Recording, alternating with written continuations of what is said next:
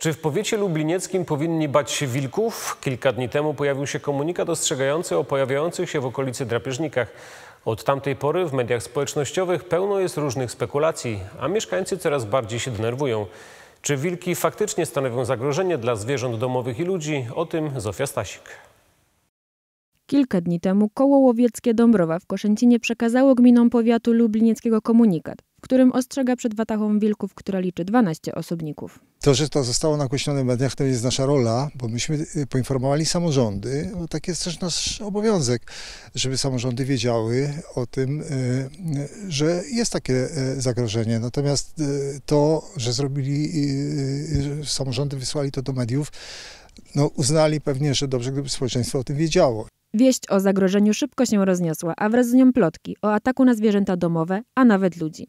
Nadleśnictwo dementuje pogłoski o realnym zagrożeniu. W tej chwili nie mamy żadnych y, wskazań, nie mamy żadnych wieści o tym, żeby nastąpił atak na zwierzęta domowe. Y, tak samo nie mamy żadnych przypadków, y, żeby podchodził tak blisko podwórka, żeby atakował na, na, na podwórku. Czegoś takiego u nas do tej pory nie było. Wilk trzyma się swoich ostoi leśnych i generalnie unika człowieka. Wilki bytują na terenie powiatu lublinieckiego od wielu lat, a ich liczba przekracza 12. Mowa jest łącznie o trzech watachach, które zamieszkują te tereny. Mimo to do tej pory nie zostały zgłoszone żadne incydenty z drapieżnikami. Takich sytuacji na terenie ziemi lublinieckiej w tej chwili nie ma. Generalnie nasze wilki zachowują się obyczajnie, jeżeli można by to tak określić.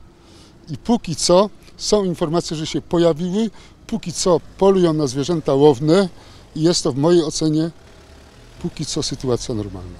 Największe wątpliwości dotyczą dziennych wędrówek wilków, które nie wydają się być normalne. Wilki kiedyś prowadziły nocny tryb życia, tak teraz dziennie tryb życia.